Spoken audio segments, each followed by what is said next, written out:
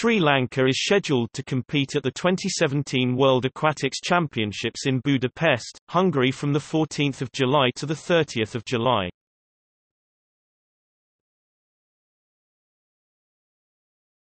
Topic. Swimming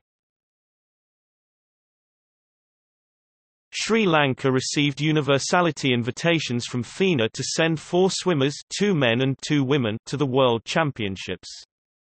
Matthew Abeysinghe was initially selected on the entry list of his respective events, but did not compete.